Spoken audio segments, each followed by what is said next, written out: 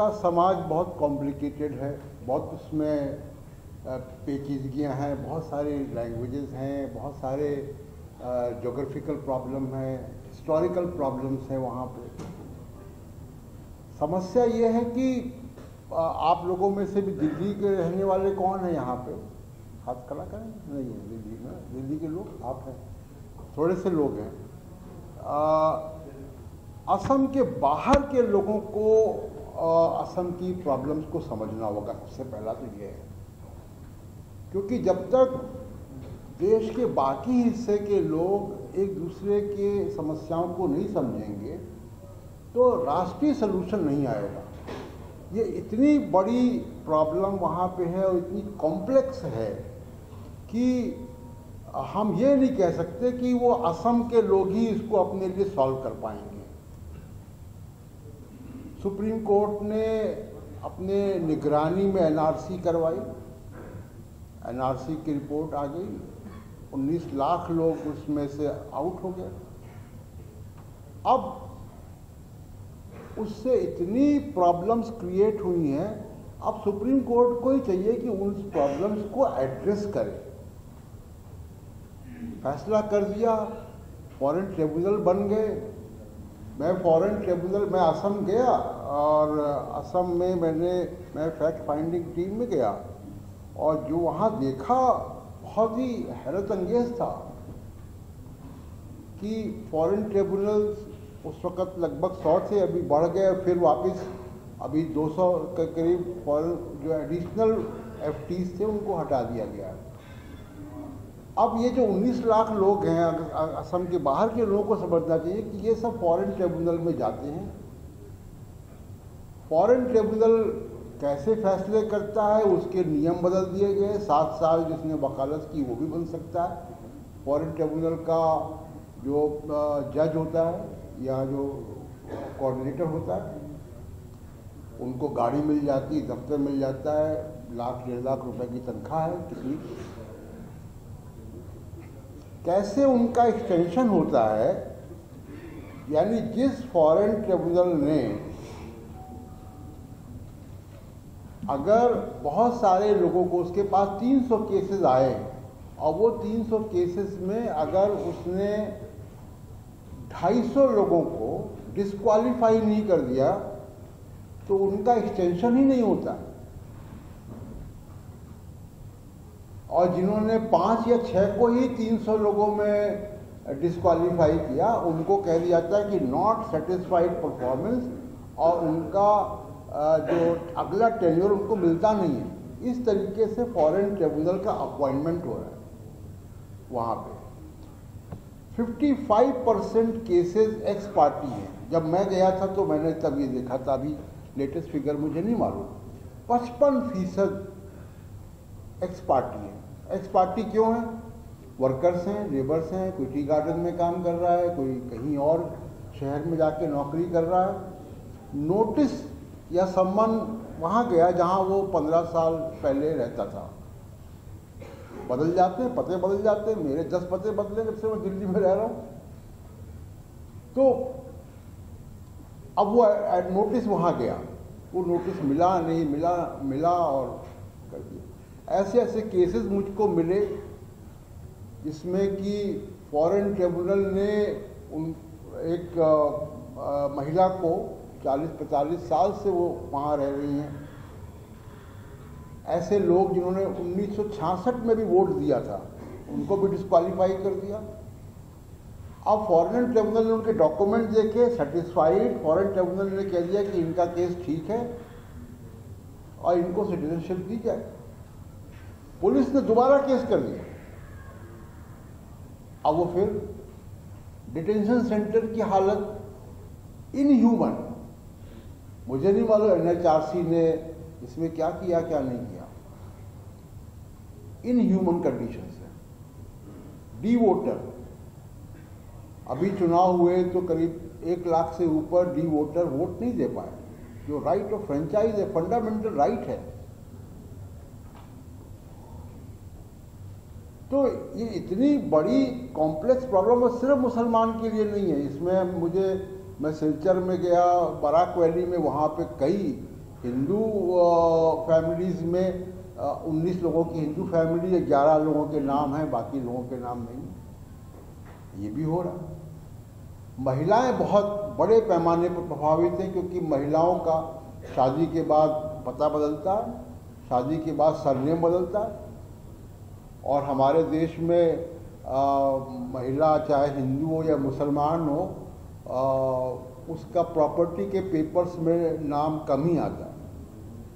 तो तो महिला जो शादी होकर चली गई उसके पास तो कुछ भी नहीं है। सरनेम चला गया। फादर की तरफ़ से प्रॉपर्टी के कागज़ में उसका नाम नहीं था। तो उसके पास तो अपने वोटर आईडी कार्ड या इसके अलावा और कुछ नहीं है। राशन कार्ड, जो बड़ी मुश्किल से वहाँ, जो ट्राइबल एरियाज़ हैं, वहाँ और समस्याएँ बाढ़ आती है, वो कैसे डॉक्यूमेंट को रखे, मुझे ऐसे ऐसे लोग, आप असम में, आप लोग तो असम के ही हैं, मैं दिल्ली के पॉइंट ऑफ़ व्यू से कह रहा हूँ कि हम तो हमसे अगर आप कहें कि अपना पैन कार्ड निकाल के दो अपने घर से तो मुझे पंद्रह बीस मिनट लग जाएगा। है, जेब में ड्राइविंग लाइसेंस या कोई एक आध चीज़ रखता हूँ। असम में आप देखिए ट्राइबल एरिया में जिनके यहाँ हर साल बाढ़ से घर उजड़ जाते हैं। लेमिनेटेड सब कागज़ में लोग रखते हैं। डॉक्यूमेंट को अपने घर की चीज़ों से ज़्यादा डॉक्यूमेंट को प्यार करते हैं। ये असम के अंदर फियर ये डर कि डॉक्यूमेंट चला गया तो हम, हमारी नागरिकता नहीं रहेगी। इस कॉम्प्लेक्स प्रॉब्लम को हिंदुस्तान के बाकी लोगों को समझना होगा। हम लोग यहाँ पे कभी वोटर आईडी कार्ड गुम हो जाता है, खो जाता है, कभी राशन कार्ड नहीं मिलता है। यहाँ पे रहने वाले लोग आराम से डुप्लीकेट बनवा लेते हैं। आप असम के लोगों से पूछिए कि उनका कागज़ खो जाए तो क्या होगा?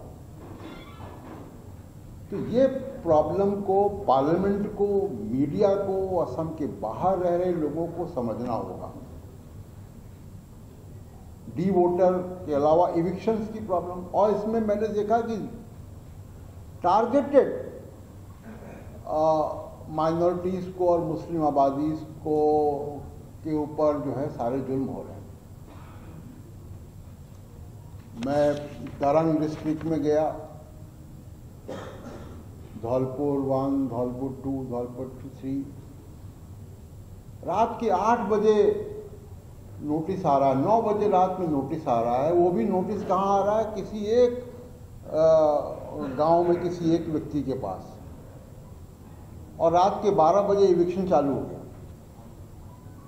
सोचिए वो अपना मकान लेकर किसी किसी के पास आ, दस हार्स पावर और ट्यूबवेल भी थे। जानवर बकरियाँ मवेशी, सामान घर का, घर की छत, टीन की तो सब लेके रात में लोग नदी पार करके कितने एक, दो की, तीन, चार, पाँच किलोमीटर, आठ किलोमीटर दूसरी ज़मीन पर गए। दूसरी ज़मीन पर भी भरोसा नहीं है कि वो कब वहाँ से उनको एविक्शन मिल जाए। और ये कोई दस बीस लोग नहीं हैं। 800 से हज़ार तो घर जब मैं गया था तो मैंने गिने थे। अभी तो ये प्रॉब्लम बढ़ रही है। कुल मिला के कहने का मतलब ये कि ये इतनी बड़ी समस्या डी वोटर की सिटीजनशिप ये फॉरेन ट्रिब्यूनल की जो लोग एनआरसी में बाहर हुए हैं, जो रोज इविक्शंस हो रहे हैं, और जो नई बस्तियाँ बनाई, मैं वहाँ गया। ना वहाँ हेल्थ केयर का कोई किसी कोई बीमार पड़ जाए तो डॉक्टर वहाँ पहुँच नहीं सकता, नदी पार करके। वहाँ पे हज़ार आठ सौ लोग रह रहे हैं, भारत के नागरिक हैं। कोई हेल्थ केयर नहीं बच्चों के लिए स्कूल नहीं है, कोई रोज़गार का साधन नहीं है, कोई खेती है, खेती करने लायक ज़मीन नहीं है। कैसे रहेंगे? राइट टू लाइवलीहुड संविधान देता है ना आर्टिकल 19 आर्टिकल 21 में हमको। किस तरह से पुलिस आई और गोली मोइनुल हक को लगी, वो तो हमने सब देखा था खबरों में। तो भारत के सुप्रीम कोर्ट को, संसद को, मीडिया को, भारत, दिल्ली और देश के दूसरे इलाकों में रहने वाले बुद्धिजीवियों को, लेखकों को, पत्रकारों को, असम की समस्या पे लिखना चाहिए, बोलना चाहिए और देश के बाकी लोगों को समझाना चाहिए। एक बार किसी का फॉरेन ट्रिब्यूनल ने केस रिजेक्ट कर दिया, उसके बाद आप देखिए कि नॉर्मल जो क्रिमिनल केसेस होते हैं तो पुलिस आपके ऊपर एक चार्ज लगाती है। उसके बाद स्टेट की रिस्पॉन्सिबिलिटी है कि वो आपको गुनाहगार साबित साबित करे। फॉरेन ट्रिब्यूनल में ये नहीं है। आपको प्रूफ करना है कि आप भारत के नागरिक हो कि नहीं हो। पुलिस ने तो चार्ज लगा दिया आपके ऊपर। तो ये सारे इतने कॉम्प्लेक्स इश्यूज़ हैं जो भारत के संविधान की स्पिरिट के खिलाफ हैं, भारत की संविधान की भावना के खिलाफ हैं। और इसमें सुप्रीम कोर्ट ने एक एनआरसी करा दी, उसके बाद छोटी छोटी पटिशन आ रही उनमें कुछ कुछ फुटकर फैसले आते हैं, लेकिन एक ओवरऑल सुप्रीम कोर्ट को निगाह डालनी चाहिए कि फॉरेन ट्रिब्यूनल कैसे काम कर रहे हैं। ये 19 लाख केसेस का निपटारा कैसे होगा और जस्टिफाइड तरीके से हो न्याय हो उनके साथ। जिस तरीके से इविक्शंस हो रहे हैं, और सिर्फ़ मुसलमानों के इविक्शंस हो रहे हैं। तो ये बहुत ही गंभीर समस्या से हमारे देश का एक हिस्सा, और देश का वो हिस्सा जिसने देश को बहुत कुछ दिया फ्रीडम फाइटर्स दिए हैं नेचुरल रिसोर्सेज हैं। जीडीपी में कंट्रीब्यूशन है, देश के उस हिस्से में के नागरिक, भारत के नागरिक अगर इतनी मुश्किल में है और उनको रात के 12 बजे अपने घर का सामान लेके किलोमीटरों दूर भागना पड़ रहा है, सरों पे ले, सर पे लेकर, वहाँ पे कोई ट्रांसपोर्ट ट्रक या कोई और चीज़ नहीं जा सकती है लॉरी वो रेत वाली ज़मीन है नदी के किनारे। तो देश के बाकी हिस्से को इस बारे में सोचना चाहिए, बोलना चाहिए। तभी जो है वो इंसाफ होगा। तो ये बहुत ही दुखद मेरे लिए तो है कि असम के लोग इतनी तकलीफ़ में हैं और देश के बाकी हिस्सों में इस बात पे कोई गौर नहीं होता, हमारी इंस्टीट्यूशंस में गौर नहीं होता। एनएचआरसी इस पे शोर नहीं मचाती है। पार्लियामेंट में इसमें बात नहीं उठती है। सुप्रीम कोर्ट इस पर गौर नहीं कर रहा और मीडिया चुप है। मुझे लगता है कि आप लोगों से भी आग्रह है कि जैसे आपने मुझे बुलाया है, देश के दूसरे हिस्सों में रहने वाले लोगों को आप बताएँ पहले जाके। अपनी समस्या तो ठीक है जो वकील साहिबा थी, वो बता रही थी, लेकिन देश के दूसरे हिस्से के लोगों को बताएँ कि भाई ये प्रॉब्लम्स है। तस्वीरें दिखाएँ उनको। तब शायद कुछ जो है देश में बाकी हिस्सों में बात होगी तो आपका, आपकी जो समस्या है, उसका हल जल्दी निकलेगा और इंसाफ के मुताबिक निकलेगा। बहुत बहुत शुक्रिया।